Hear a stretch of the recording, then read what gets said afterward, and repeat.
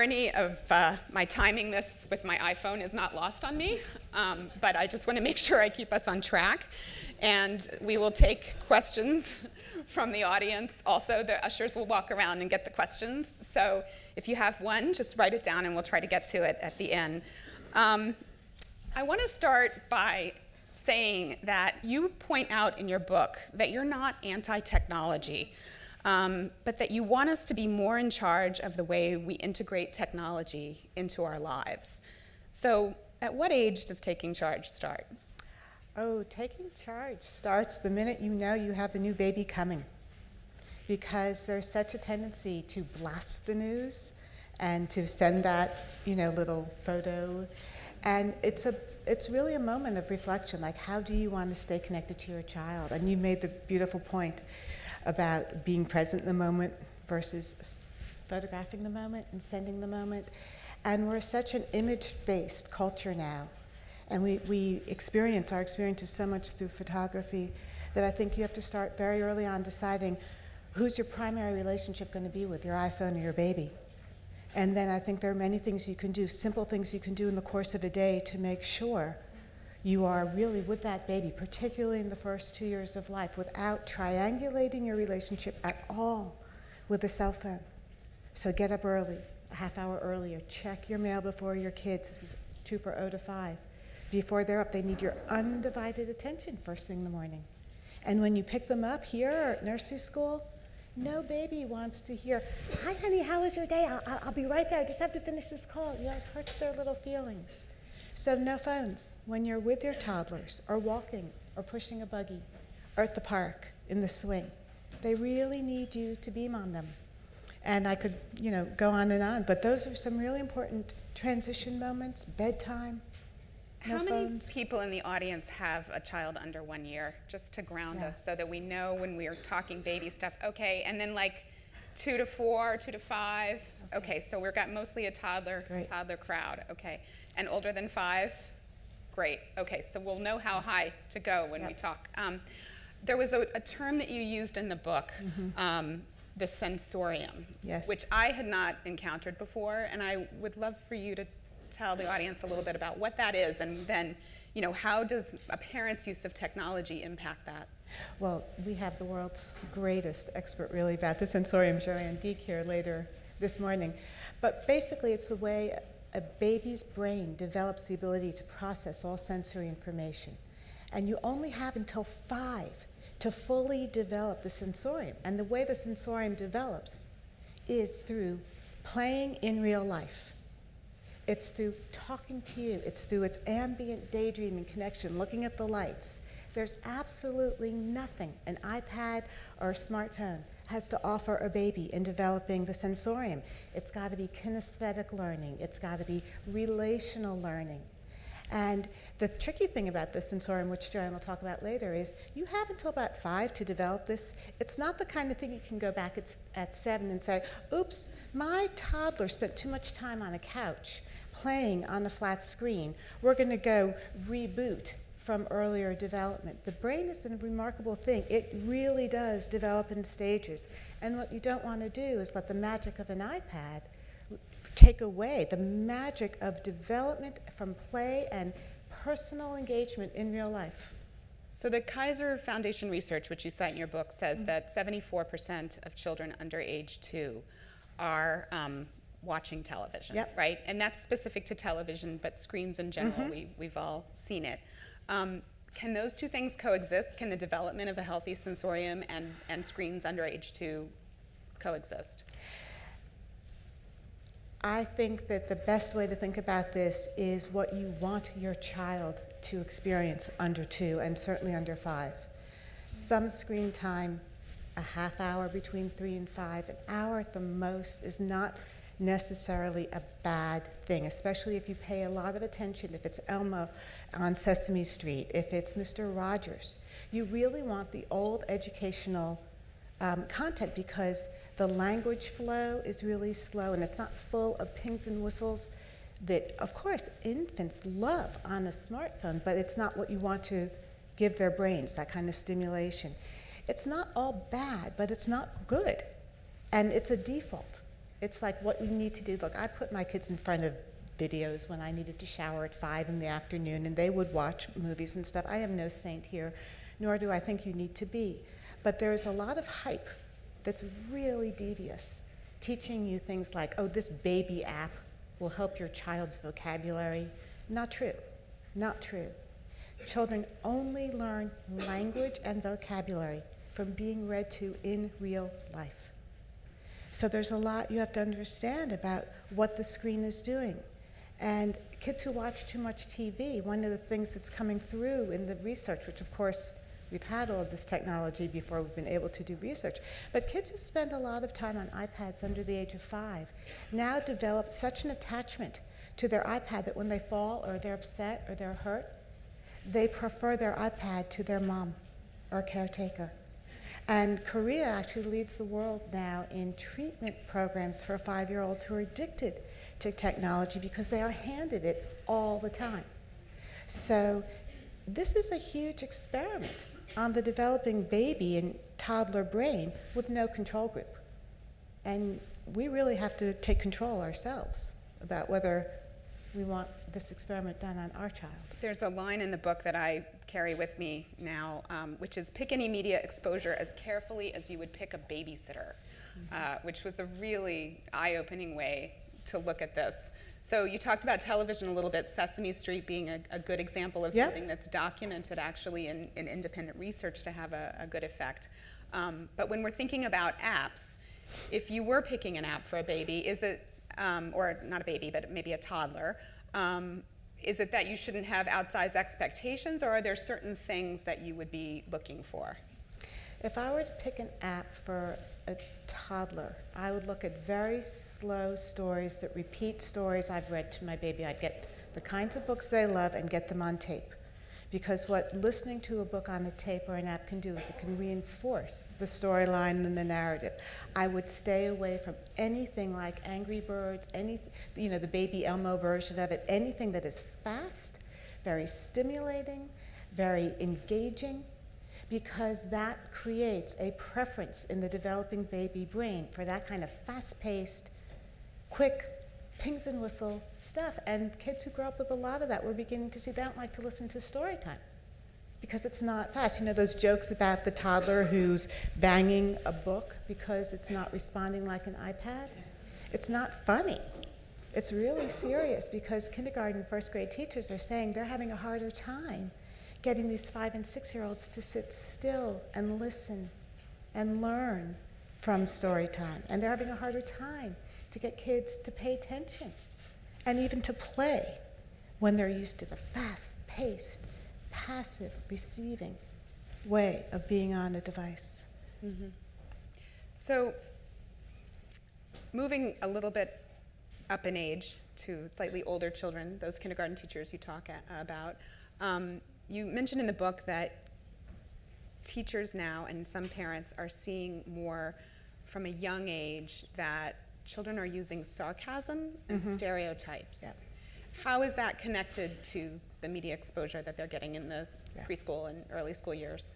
So we know from infancy, babies take in what they see and they learn from what they see. And if they're seeing a lot of gender based stereotypes in edutainment or just plain entertainment games, um, they're seeing a lot of physical responses to social emotional situations. So boys are seeing a lot of, you know, if you're ma- if you're sad, get mad kind of stuff.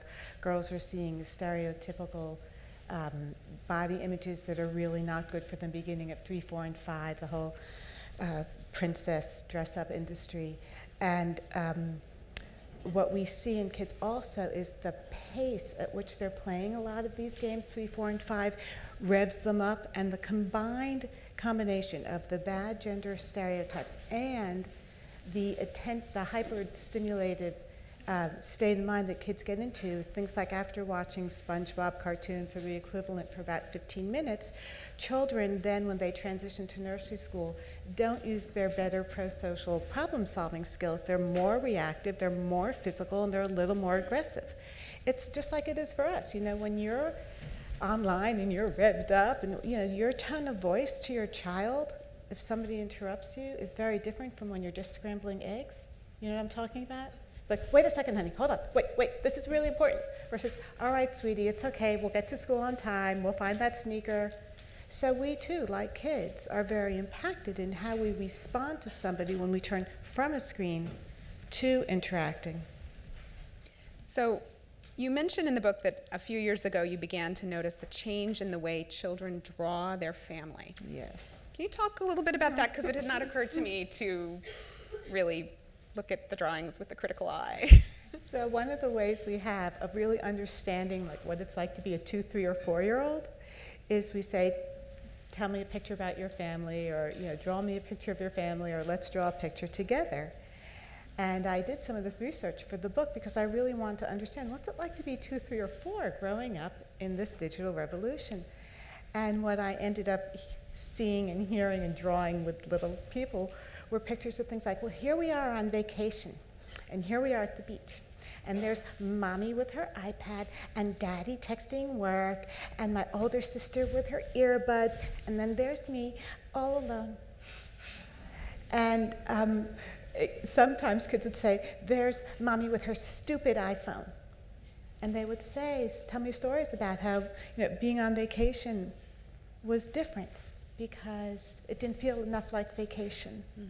because everybody had some device. So the family portrait had a new family member or a new family pet, if you will, and it was some kind of technology. technology. And it's interesting because just to back up to the baby years for a moment, you, you do cite research that shows that if a mother has something in her hand, mm-hmm.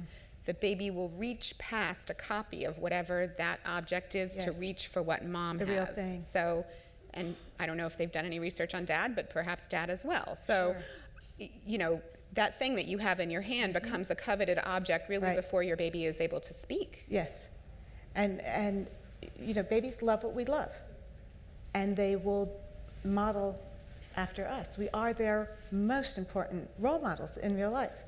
So if your baby constantly sees you picking up your phone, not only will they play phone, now we see a lot of kids playing, just checking email at nursery school. I'm just checking, I'm just checking, because that's what they hear. But they start to think also that the iPhone, the real thing, is very valuable and precious. So they develop a priority in their own little mind mapping of what matters in life. And um, very frequently, parents told me stories that in their second or third or most recently born baby, often the first words were not bottle or baba or blankie, but my pone, my pone. Wow. Mm-hmm. Okay. Uh, it's really disturbing.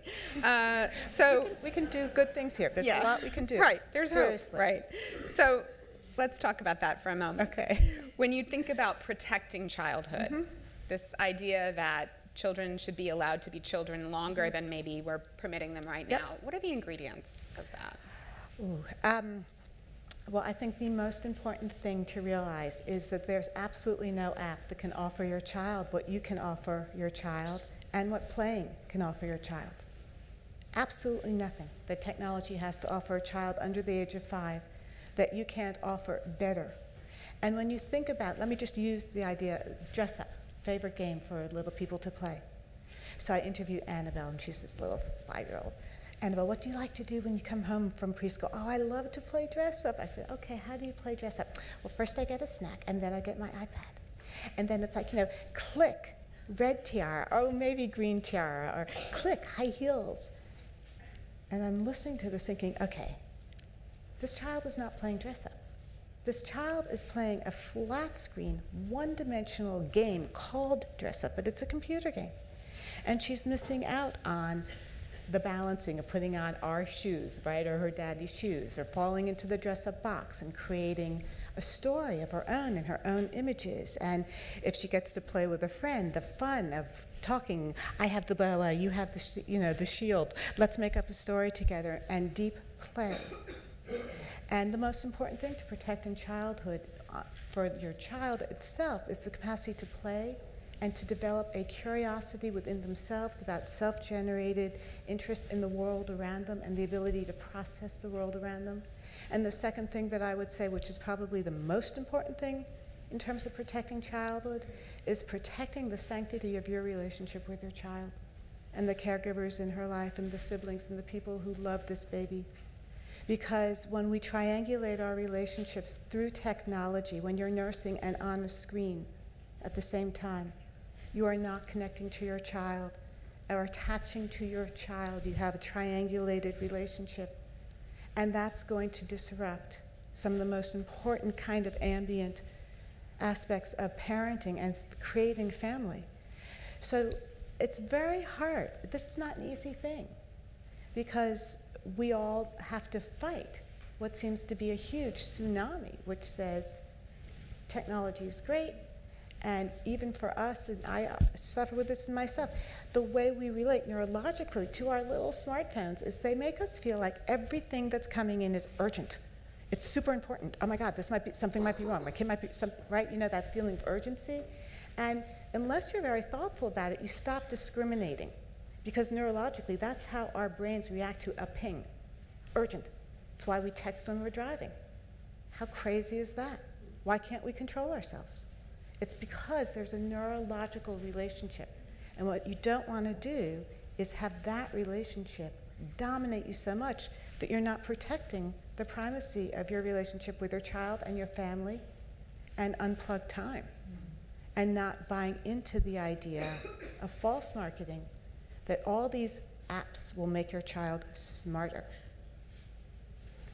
One of the buzzwords right now, um, and I think it's, it's something that's you know, been in the research community for a long time, but I think parents are only now kind of becoming aware of this term, executive functioning. Mm. Can you define that a little bit and talk to me about the relationship between executive functioning and, and use of technology? Sure. I, I, again, I mean, we've got gurus here. Yep. Ned Hallowell, you know, who's going to follow me, wrote the, the definitive yep. You can book. give us like the 10 cent tour and then okay. Ned okay. go in deep next. So executive functioning, the way I would talk about it from my perspective, is it's your capacity to listen to the boss inside of you saying what you need to do and actually following through on it. And um, so when you have a child who needs to follow through on things, or an adult, right, who needs to follow through on something, when you have a good relationship and your executive functioning is strong, you can motivate yourself to say no to things and to follow through on the commitments you've made to yourself or your desire to work and finish the task at hand and not get derailed or distracted. So do you want me to talk about that in terms of parenting or being Well, what's the connection between the use of technology and the development of executive functioning? When we multitask, we are not multitasking. This is not like a competency and an, a higher level of thinking and performing. We are splitting our attention up in three or four different ways.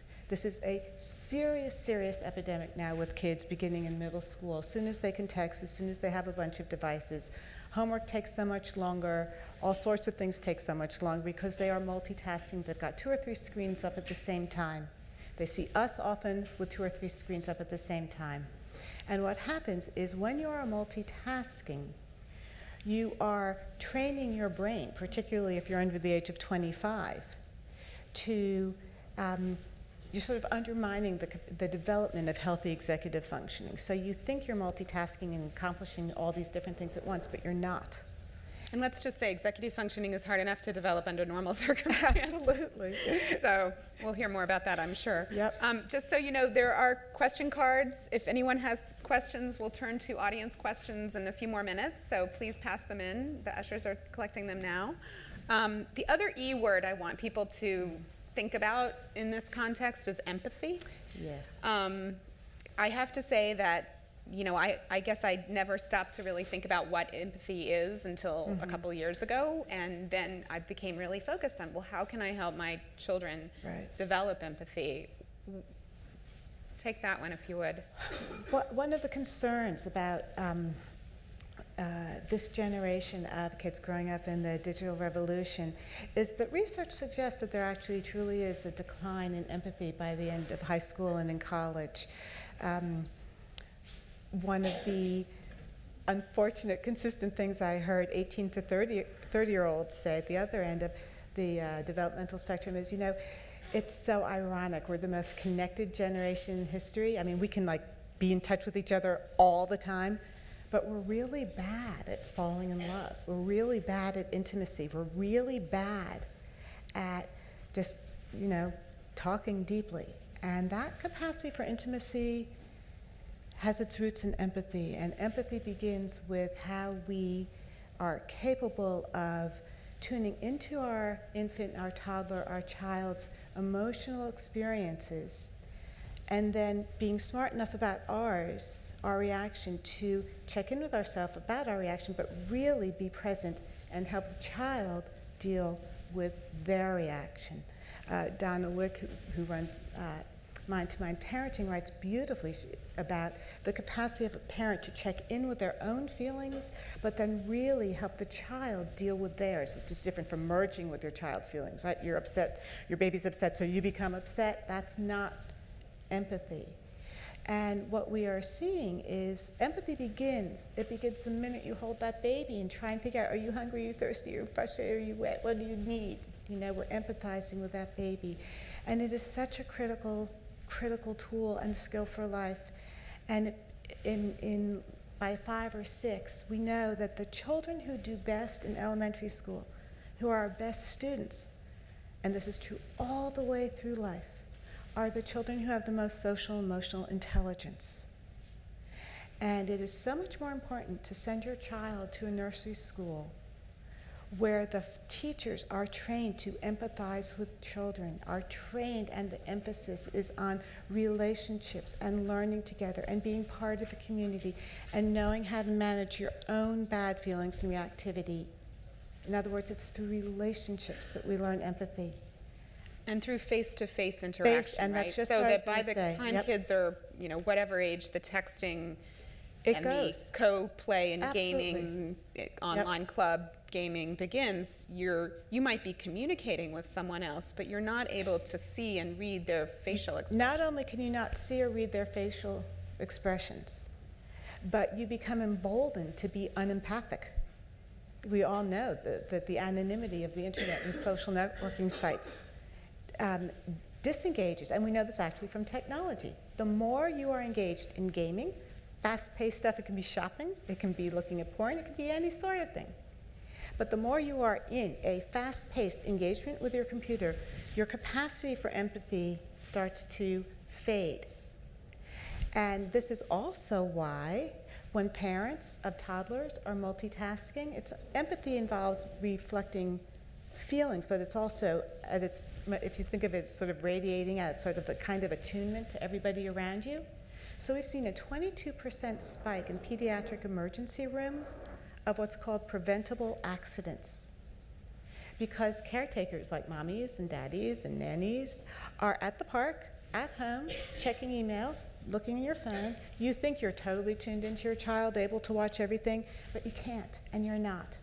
And you don't see that fall off the slide. You don't see that running into the edge of the coffee table in the same way. So screens disrupt our attunement to each other. Kids so far cannot learn empathy. A colleague of mine uh, from, from an app or, or um, online, although I will say that a colleague of mine out in uh, San Francisco is working on the first computer game designed to teach kids social emotional intelligence and tools. And there are some there's some research that says kids do learn to be more empathic when they are playing a certain kind of video game with a group like Minecraft when they're doing a pro-social game where they are sharing and helping each other out. So it's not all bad. The trick is to find the rare games that actually reinforce empathy. But it is a critical life skill, and you can't fall in love or be a good friend without it. Okay. Um, I have to say I'm a Minecraft mom, and I guess I've seen the pros and the cons. you There, know. there are some good things there. It's definitely addicting. Huh? It is indeed. Um, I was fascinated by how much insight in your book came from your role as a school consultant, Mm-hmm. and you know this is New York City is, is such a place to try to figure out the school situation for your child. I'm sure we have parents here who are thinking about ongoing school. Oh my gosh, what am I going to do? You have other parents who are new to a school community. And I was hoping you could tell us a little bit about what you would recommend we look for in how a school handles technology. Wow. Okay. For the next 45 minutes. this no, could, this could kill, kill my career. This is a whole other. this is a whole other uh, So- so- presentation. yeah, this is. All right, so let me just say a couple of things that are interesting. Um, it didn't escape me, and perhaps it hasn't escaped you either, that a lot of the people who develop technology, a lot of the folks out in California, a lot of the people who are really the C levels in the industry, choose to send their kids to Waldorf and Montessori schools where there is a no tech or very low tech approach, certainly through elementary school.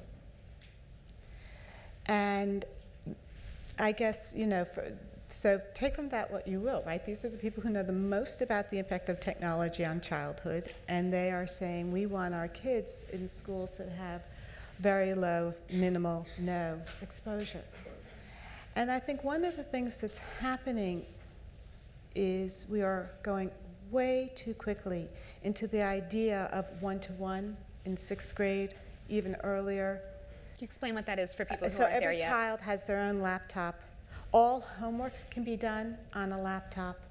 All learning becomes screen based, which dramatically changes, dramatically changes the experience of being in school, of being a school community, and what it means to learn. I think that most schools now, certainly in the private schools, have some tech introduction somewhere between kindergarten and third grade.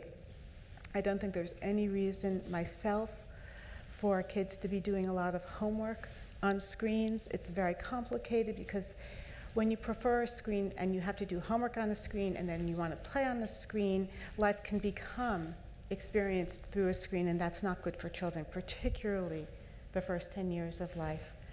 And um, the research is still out on what kinds of learning kids do best on screens. There's clearly some stuff that screen based learning is fantastic for, certain skill drilling.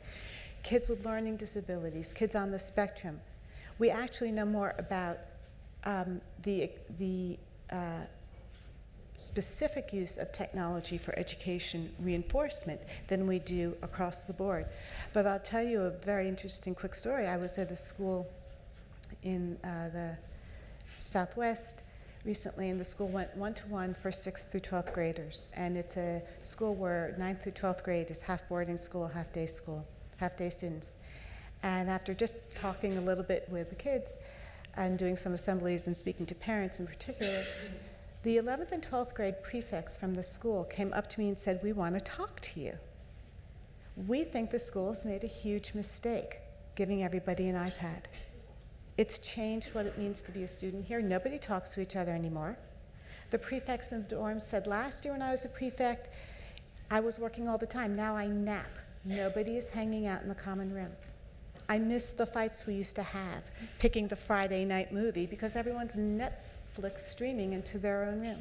The sixth graders aren't talking to each other, bumping into each other. Nobody's making eye contact. The school spirit is gone into the screen. So there's a lot to think about, not just learning from screens, but how we connect to each other in real life when so much of education becomes screen based. And that said, let me say there's unbelievable stuff and ways our kids are going to learn from technology and on screens and in classrooms. They're doing some unbelievable international learning, kids together, the online school for girls. There's brilliant stuff out there. But I would look very carefully at how much is screen time. And the flip side of screening at school, tech based, is you want a school that's teaching social emotional intelligence. You want a school that's teaching social and emotional intelligence, K through 8, very specific skills about how to relate in person.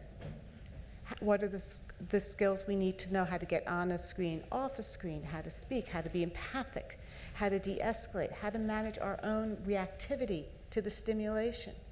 So I think the schools that are doing the best jobs of adding technology to learning are also adding equally social and emotional intelligence curriculum. And then of course, the rest of the responsibility is ours as parents. That's so right. we can't just abdicate and say, well, the school's going to teach them. No. Just like we can't say the schools are going to teach them sex ed. We don't have to have the conversation there. Absolutely not. Um, so you define really beautifully in the book what a supportive home environment looks like from a tech Mm-hmm. perspective. Um, limiting screen time, obviously, we know is is part of it. But what are some other examples? What what else should we be doing? Um, well, I think that it's very important that you have a really clearly articulated family responsible use policy, and that's posted. So everybody knows what's okay, what's not okay, when it's okay to be on screens. I think that uh, one of the things that children really need and you need to protect is the ability to play offline. Don't have kids come home from school and play on screens. They really need to come home and play in real life. And the capacity to play together as a family is so critical, especially at your age, because it's in when we play together that our kids feel like they matter to us. And they matter more to us than whatever call might be interrupting us. So, really think long and hard about how you divvy up what precious time you have with your children, particularly on vacations. Children really talk about how they get it that mommy and daddy work during the week, but do they really have to text on the ski lift?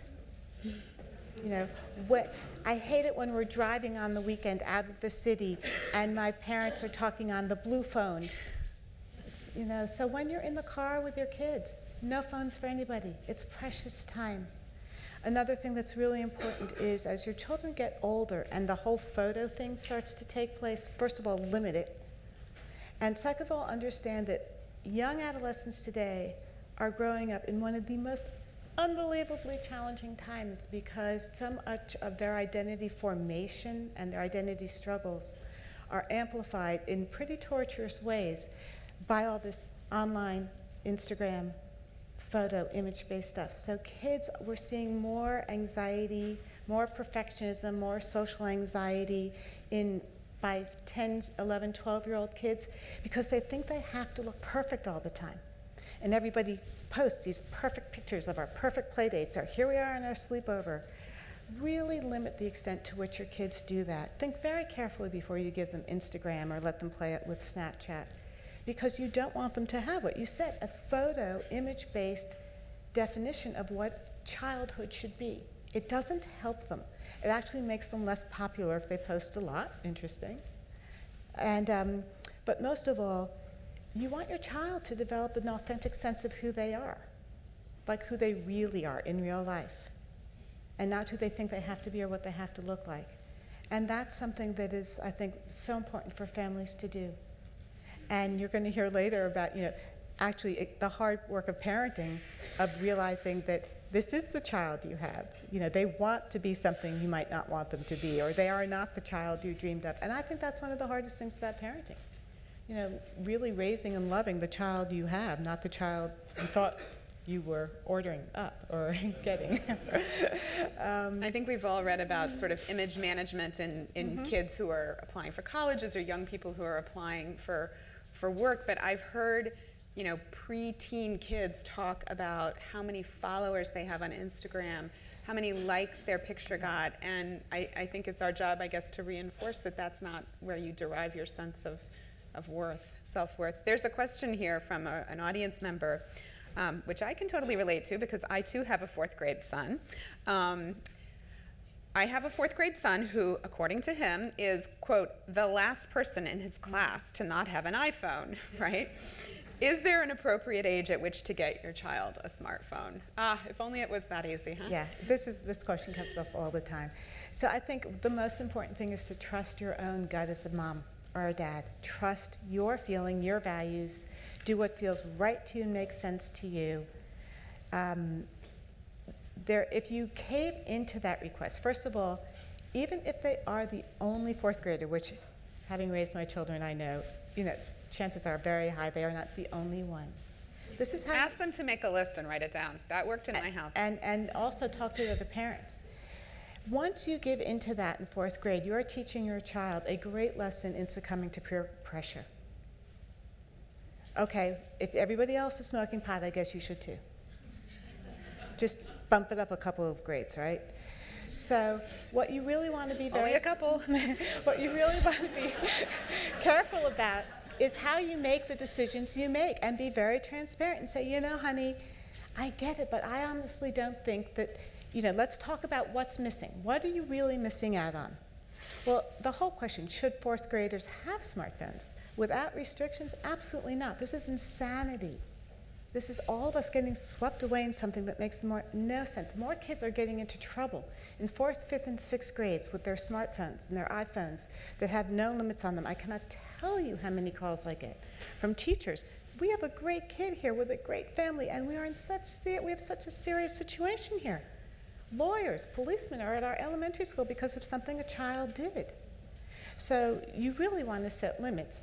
The things you want to look out for are is your child socially isolated? Because you do not want to have a socially isolated child.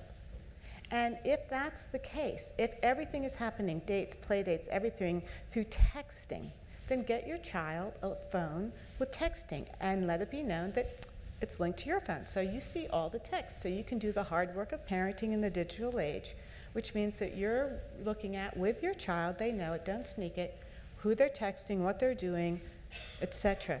Most of the reasons. I'm just laughing because that's what we're doing in my household. It's not a phone, it's a touch. Abs- it's a text, you know, app. Right on. and Very boy, good. it is a lot of work to read the text though. It- it is a lot, and you got to be work. careful because every now and then you could, you know, send a text to the wrong person by mistake. If Mm-hmm. your Apple ID is linked with your child, I'm waiting for Apple to figure out how to Yes. have a parental control different- ID. They're I- working on it. Yeah. Yeah. I asked at the Genius Bar, but they're like, call Cupertino. yeah. But I mean, really slow it down. Just protect. I mean, just slow it down. Don't get caught up in the insanity. There's also something at that age, I think, to be said for just saying to your child, in our family, we don't do it this Absolutely way. right. Mm-hmm. Not in a way that's judgmental with with other families, but Right. just that you know we don't we don't think you need one. That's our family rule, and and leave it at that. Um, there's a good question here. How do you control? Uh, yes. How do you control um, the use of and educate, teach your child to control their impulses when we as adults have such a hard time? Uh huh. so, one of the first things you need to really understand about yourself is your own wiring and what, where you are really good at controlling yourself and where you are not. And if you can't figure out how to get more in control, New York is full of wonderful people who can teach you some good cognitive behavioral techniques. Um, seriously, it, it, it doesn't need to be an intensive psychotherapy type thing, but you really have to understand your own reactivity and how to get in control and how to transition well because you need to be able to teach that to your children. And you actually can learn how to teach it to your children even if you're not so good at it yourself. But one of the things that is, is really important is um, to not be a hypocrite. I can always tell at what age when I'm doing focus groups or interviewing kids at school, they've learned that word. Because they, think, they say things like, you know, we have this rule at home, and no one's allowed to use a tablet or any technology at the dinner table, and my parents are such hypocrites. Not only do they both use it all the time, they fight all the time about who uses it more, and it's so annoying because all they do is argue about who's on the stupid iPhone or you know iPad at dinner, and then they get really mad at us when we're just politely texting under the table. Um, someone here would like you to comment on Skype. It's a good, good question. I had not thought about Skype Yeah. as a distinct entity. Skype is a really wonderful thing to do with your children when you're traveling, when you're away, um, but you cannot let Skyping substitute in for um, talking to them and being with them and playing with them in real life. But Skyping is one of the best things to way to actually introduce your kids to technology, to their grandparents who are far away, to their cousins. I mean, that it's a beautiful thing. It's a wonderful thing that children now can have visitations. They can have grandparents do puppet plays for them. They can read to them. They can have a sense of ongoing connection to these people. Some children make the transition beautifully in real life from Skyping with people to playing with them. So cousins will join up instantly with each other. And some of the early research that we're just starting to see, which is fascinating about language and reading and vocabulary development, shows that if a child is read to on Skype by a parent who they already have a wonderful connection with or a grandparent, more of the parts of the language learning brain light up. Now, that's not the case if your mom is in a TV set or you hear her voice on an audio tape. So, what that tells us is there's something about that relationship to someone we love. If they're not, if we can't be in their lap, it's actually a good thing to Skype and talk and connect. So, that's a wonderful use Great. of tech. Um, I would be remiss if I didn't um, say that you've seen kids in your practice who are truly addicted. Yes. Um, what does that look like? Just so we have some perspective. Yeah. So the signs of addiction in early childhood um, are an inability to relinquish technology, a very intense uh, meltdown, and a long time to cool off. Um, children who prefer technology to any kind of social interaction.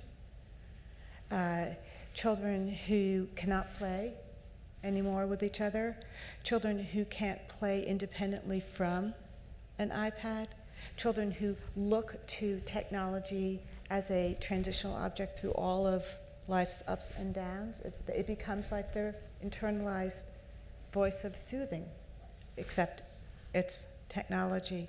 And as kids get older, then you want to look at kids who are really sneaking a lot, uh, who are making up stories, lying about their use of technology, who won't play or don't want to play or show no interest in playing in real life.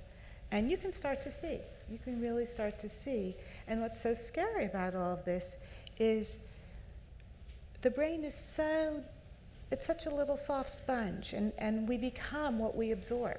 You know, Winifred Gallagher Rapt, You are, you are what you focus on. So if kids are spending hours after hours on screens, it's not surprising that they develop a relationship to their screens that becomes primary to them. The last question I'll ask, because we don't want to end on such a sad note. Um, but remember, the brain is malleable Absolutely. up until a point. um, is that you talk in the book about the idea of the sustainable family. Mm-hmm. Um, and I love the definition. This is the, the sort of short version. One that is deeply connected with one another and can bend in a crisis without breaking. That's what we all want to be, right? Mm-hmm. Um, what are some of your guidelines for becoming a sustainable family? Having a lot of time, which in today's world means maybe a half hour a day if you're lucky, twice a day, where you're just hanging out with your kids. Hang out and talk. No tech. Talk about what happened. Talk about how school was. Listen to their stories. Just be together. Be in, be in the same space together, but not through a screen. And then really find times in the day to, to process with them. So, how was school? How was snack? Who'd you play with? Did you get upset today? What happened? All those conversations that create the fabric of connection in a family. And use your time on the weekends and use your time on vacations and make sure every day, in the morning, in the afternoon, in the evening, you have times where you're just being and playing and talking together. And talk, talk, talk, talk, talk. Talk about friendships, talk about relationships. Let your children solve your problems. Invite them to help you at a young age. What would you do if this happened to you? Because this happened to me, and I kind of didn't know what to do today. Great way to talk with your kids at dinner. I have this problem at work. Can you help me think about it? And then the next day, go back to them and say, Remember when you said to do that? That was so helpful. It didn't work. Let's try again. But play together and play with your children at the things they want to do. When you're playing with your children, do not just check. That is a phrase children hate, just checking. Because it means you're abandoning them in the moment for something else, someplace else. And, and be the place where children learn how to understand the full range of who they are. Home is where we need to learn how to fight and fall apart and gather ourselves together. There's no way a computer or screen can wrap its arms around your kids or one another when we're going through the daily difficulties of just growing up and the joy and the pleasure of just growing up. The kids who grew up with families that I interviewed, where the parents did a really good job of hanging out and being able to talk reasonably and relatively calmly when things went south, which they do all the time. The kids who had the parents who did the hard work of saying no and setting limits and made sure they had family rituals, Friday night, pizza night, whatever it is. Those are the kids who really felt well connected to their families. Lovely. It's easy to Thank do. Yes. Okay, resolved, right? Um, Dr. Steiner-Adair, thank you so much for coming today. I really enjoyed talking to you. My pleasure. Thank you.